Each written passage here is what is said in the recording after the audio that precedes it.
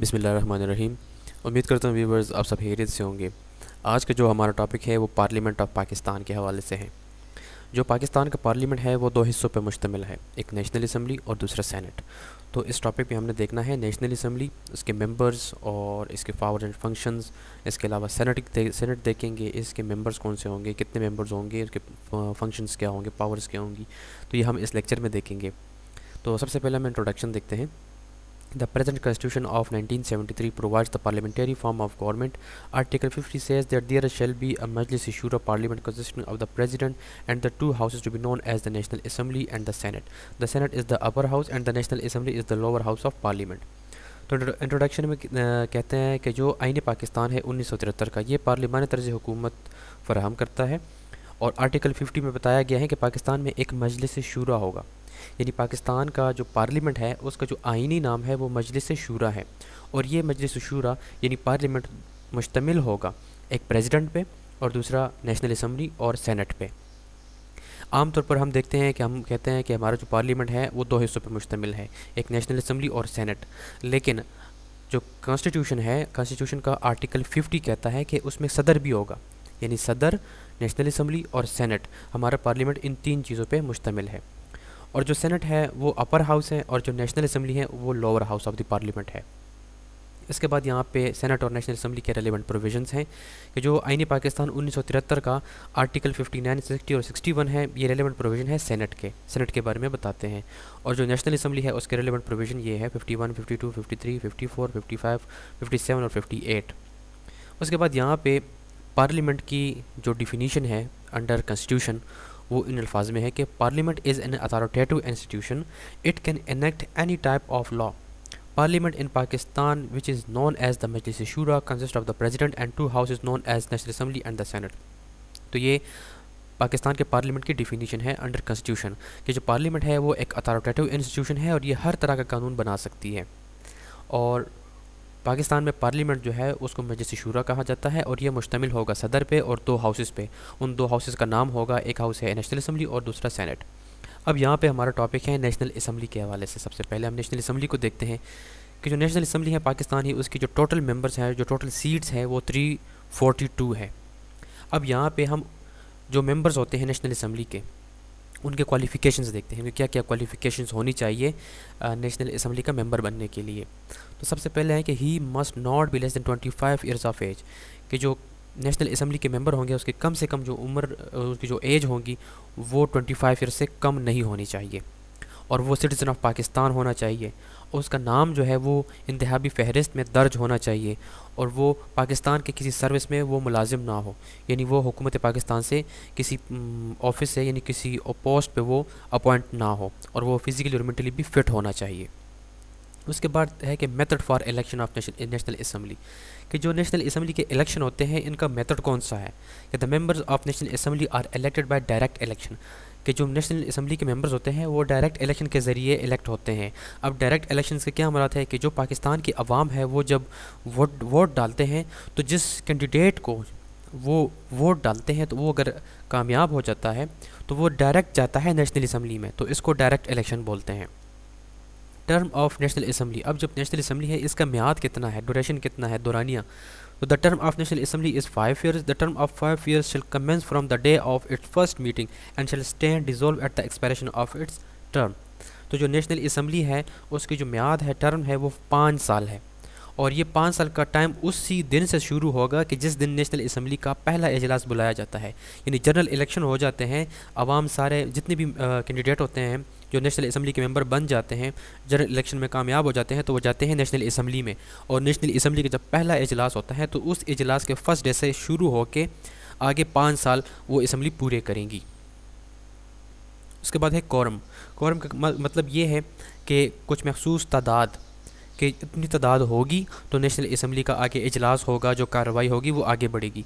तो जो total members हैं, यानी three forty two national assembly के मेंबर्स हैं, इनका वन फोर्थ मेंबरशिप जब होगी तो ये असम्बली का कौरम होगा और वन फोर्थ से अगर तादाद कम होगी मेंबर्स की तो फिर इजलास या कोई भी इनका सेशन होगा तो वो नहीं चलाया जाएगा। उसके बाद summon and prorogation of session जो इजलास बुलाया जाता है नेशनल असम्बली का, वो कौन बुलाएगा और कौन इसको मुलतवी करेगा तो जो प्रेसिडेंट ऑफ़ पाकिस्तान है, सदर पाकिस्तान नेशनल असम्बली का इजलास बुला भी सकता है और उसको प्रोरोगेट भी कर सकता है उसके बाद है सेशंस इजलास कब कब होंगे नेशनल असम्बली के there will be at least three session in year and the interval between them shall not exceed 120 days. It is required to remain in session for at least 130 days in a. कि एक साल में national assembly के कम से कम तीन इजलास होने चाहिए और एक इजलास से दूसरे इजलास का जो दौरानिया होगा, जो इंटरवल होगा, वो 120 दिन से ज़्यादा नहीं होना चाहिए। यानी फॉर एग्ज़ाम्पल आज अगर एक सेशन का एंड हो जाता है, जो दूसरा सेशन होगा नेशनल असम्बली का, वो 120 दिन से ज़्यादा उसके दरमियान वो इंटरवल नहीं होना चाहिए। और ये जो नेशनल असम्बली अपना काम जारी रखेंगी, अपना वर्क करेंगी, अपना सेशन जारी रखेंगी तो एक साल में इनको 130 दिन कम से कम अपना वो जो काम है वो जारी रखना पड़ेगा। उसके बाद डिजोल्यूशन ऑफ़ नेशनल असम्बली अब नेशनल असम्बली किस तरह से डिज़ोल्व होगी? कि national assembly can be dissolve by the president on the advice of prime minister कि जो नेशनल असम्बली है उसको अगर डिज़ोल्व होना आ, करना हो तो जो प्राइम मिनिस्टर है वो प्रेसिडेंट को एडवाइस करेगा कि आप नेशनल असम्बली को तहलील करें तो नेशनल असम्बली डिज़ोल्व हो जाएगी। लेकिन अगर प्राइम मिनिस्टर के ख़िलाफ़ वोट ऑफ़ नो कॉन्फिडेंस वो अगर प्रोसेस हो यानी वज़ी अजम के ख़िलाफ़ नेशनल असम्बली में अदम अतमाद का रेजोल्यूशन वो चल रहा हो तो उस उस सूरत हाल में प्राइम मिनिस्टर ये एडवाइस नहीं कर सकता सदर को कि आप नेशनल असम्बली को डिज़ोल्व करें। उसके बाद यहाँ पे आ जाते हैं powers and function of national assembly कि जो नेशनल असम्बली के मेंबर्स हैं, उनके पास क्या क्या पावर्स और फ़ंक्शन हैं। तो सबसे पहले है लेजिस्लेशन कानून साजी the primary function of the national assembly is to make laws after it pass by the assembly it is sent to the senate for its consultation if accepted by the senate and finally presented to the present for approvals तो जो बुनियादी function है national assembly का, वो है कवानीन बनाना। तो जब नेशनल असम्बली किसी कानून को पास करती हैं तो उसको सेंड करती हैं सेनेट को, उसके कंसिड्रेशन के लिए, कि सेनेट इस पर क्या राय देता है। तो जब सेनेट भी उसको एक्सेप्ट करता है तो फाइनली उस उस बिल को प्रेसिडेंट के पास भेज दिया जाता है, ताकि प्रेसिडेंट उस पर साइन करके उसको अप्रूव कर दे तो कानून बन जाता है। इस तरह से नेशनल असम्बली के पास ये ये भी पावर है कि वो जो कॉन्स्टिट्यूशन है, कॉन्स्टिट्यूशन ऑफ़ पाकिस्तान उसमें भी टू टू थर्ड मेजोरिटी के साथ वो उसमें अमेंडमेंट कर सकती हैं। उसके बाद है एडमिनिस्ट्रेटिव पावर्स हैं। अब एडमिनिस्ट्रेटिव पावर जो है नेशनल असम्बली के पास, उसमें ये ये चीज़ें आ जाती हैं। सबसे पहले है क्वेश्चनिंग कि जो नेशनल असम्बली के जो मेंबर्स होते हैं, वो मिनिस्टर्स जो मिनिस्टर्स होते हैं कंसर्न डिपार्टमेंट के, उनसे रेलिवेंट क्वेश्चन भी पूछ सकते हैं। जैसे कि कोई मिनिस्टर है एजुकेशन का, कोई हेल्थ का मिनिस्टर है तो नेशनल असम्बली के मेंबर्स उसी मिनिस्टर से क्वेश्चंस भी कर सकते हैं कि आप अपने हेल्थ के डिपार्टमेंट में ये काम क्यों नहीं कर रहे हैं, ये वगैरह वगैरह इस तरह से क्वेश्चन कर सकते हैं। रेजोल्यूशन भी पास कर सकते हैं। National assembly can pass resolution to express its views on over any important matter कोई भी ज़रूरी मैटर हो, उसके ऊपर रेजोल्यूशन भी पास कर सकते हैं। वजी अजम के खिलाफ जो है no vote of no confidence भी पास कर सकते हैं नेशनल असम्बली के मेंबर्स और इसके अलावा जो विफाक हुकूमत की जितनी पॉलिसीज़ होती हैं, उन पर क्रिटिसाइज़ भी कर सकती हैं नेशनल असम्बली के मेंबर्स ये इनके पास एडमिनिस्ट्रेटिव पावर्स हैं। उसके बाद जो फाइनेंशियल अफेयर्स होते हैं, उसमें क्या क्या पावर्स हैं नेशनल असम्बली के पास तो वो है कि budget is prepared under the supervision of the national assembly तो जब बजट तैयार किया जाएगा, सालाना बजट तो वो नेशनल असम्बली के सुपरविजन में तैयार किया जाता है। और जितने टैक्स के मैटर्स होते हैं, उसके हवाले से अप्रूवल देनी हो तो वो नेशनल असम्बली के पास ये पावर है। जितने भी मनी बिल्स होते हैं, यानी पैसों के हवाले से मालियती जितने भी बिल होते हैं, कवानीन बनाना हो, पैसों के हवाले से तो वो सिर्फ़ और सिर्फ़ नेशनल असम्बली में पेश किए जाते हैं। इसके अलावा जब बजट जो है वो प्रिपेयर्ड हो जाता है तो नेशनल असम्बली के पास ये पावर्स हैं कि नेशनल असम्बली के जो मेंबर्स हैं, वो उस बजट को क्रिटिसाइज़ भी कर सकते हैं, उसको डिस्कस भी कर सकते हैं। इसके अलावा इलेक्टोरल फ़ंक्शंस भी है कि जो नेशनल असम्बली है, वो अपना लीडर ऑफ़ द हाउस भी इलेक्ट करती हैं। लीडर ऑफ़ द हाउस से मुराद ये है कि प्राइम मिनिस्टर, कि जब नेशनल असम्बली के मेंबर्स वो सारे इलेक्ट होकर नेशनल असम्बली में जाते हैं तो वो उनका जो पहला सेशन होता है तो वो उसमें अपना प्राइम मिनिस्टर वो करते हैं इलेक्ट करते हैं।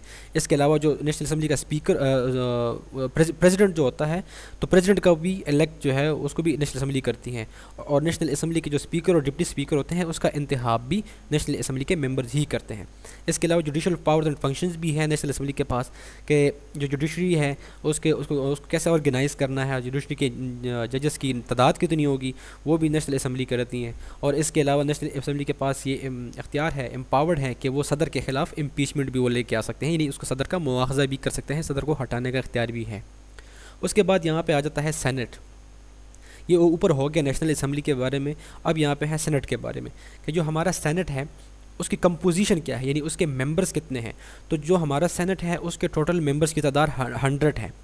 पहले ये तादाद 104 थी, लेकिन जब से जो कबाइली इलाकाजात को के पी के में ज़म कर दिया गया है तो उसके बाद वो चार मेंबर्स को वहाँ से कम करके यहाँ पे इसकी तादाद हंड्रेड हो गई है।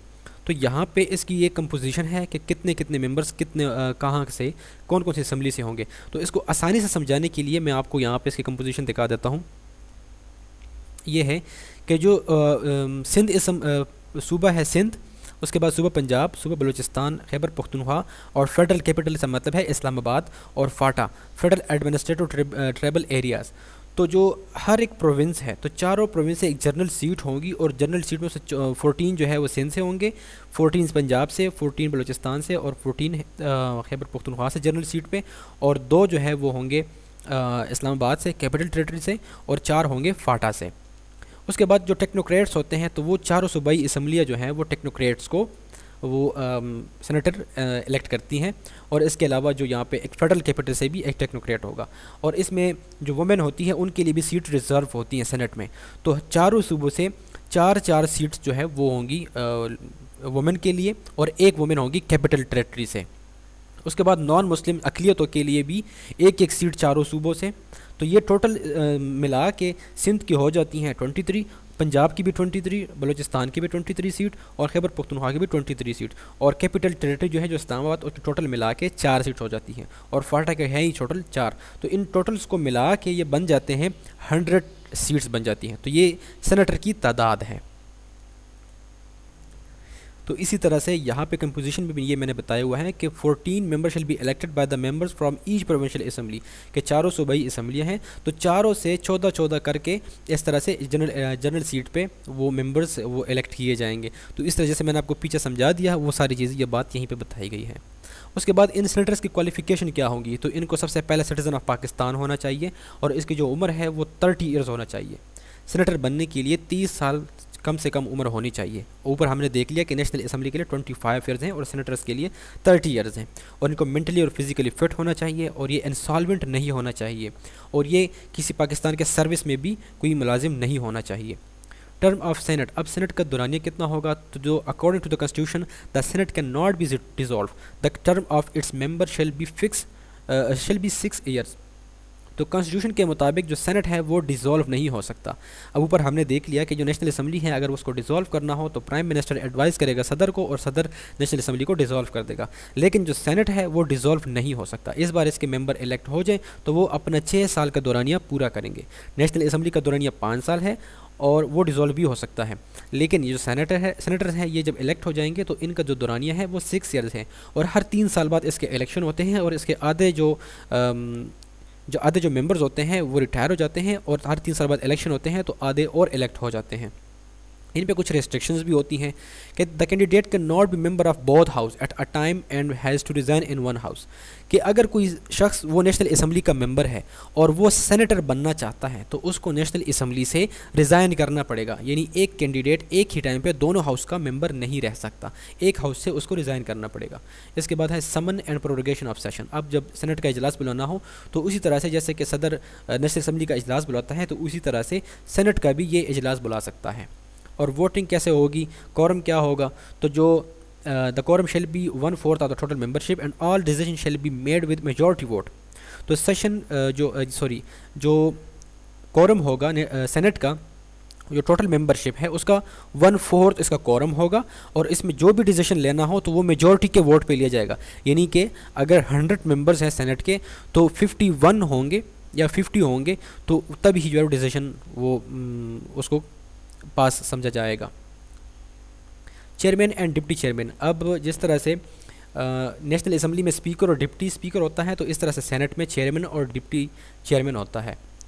तो the senate shall elect from amongst its member a chairman and a deputy chairman कि जो सेनेटर्स हैं सेनेट है, उसके जो तमाम हंड्रेड मेंबर्स हैं, उन हंड्रेड मेंबर्स में से ही ये चेयरमैन और डिप्टी चेयरमैन को इलेक्ट करेंगे। The chairman and deputy chairman can be removed from their office by passing a resolution with majority vote or total membership of the Senate.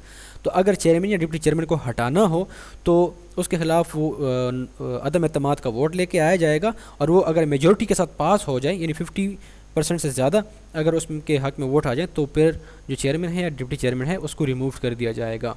उसके बाद है यहाँ पे powers and function of the senate the senate take part in law making procedure it is the most important duty of the parliament कि कवानीन बनाना ये parliament की एक अहम ड्यूटी है और जो सेनेट है वो इस लॉ मेकिंग प्रोसीजर में भी, यानी कानून साजिश में भी हिस्सा ले सकते हैं। The senate keeps and watch on the administration. जो सेनेटर्स हैं, जो सेनेट है, ये तमाम जितनी भी इंतज़ामी अमूर हैं, उसको देखती हैं और उस पर नज़र रखती हैं। The senate perform electoral function in many ways for example election of the president तो जो सेनेट है, वो इलेक्टोरल फ़ंक्शन में भी, वो वो भी परफॉर्म करती हैं। यानी सदर का इंतखब करना हो तो उसमें भी सेनेट जो है, वो हिस्सा लेती हैं। The senate has power to amend constitution senator senate के पास ये भी अख्तियार है कि वो कॉन्स्टिट्यूशन में तरमीम भी कर सकते हैं। The senate remove the grievances of the people of Pakistan and discuss their problems तो जो सेनेट है, वो पाकिस्तान के अवाम के जो परेशानियाँ हैं, उसको सुनती हैं और उसको हटाने के लिए कोशिश करती हैं। उसके बाद आ जाता है यहाँ पे इस क्वेश्चन का conclusion to conclude I can say that parliament is the supreme institution of the country it is law making body कि जो पार्लियामेंट है पाकिस्तान का, ये एक सुप्रीम इंस्टीट्यूशन है और ये लॉ मेकिंग बॉडी है, ये ये कवानीन बनाती है। It consist of the president and two houses national assembly and senate तो इस ये जो पार्लियामेंट है, ये मुश्तमिल है सदर पे और दो हाउसेज पे। उन दो हाउसेज में एक नेशनल असम्बली है और एक सैनट है।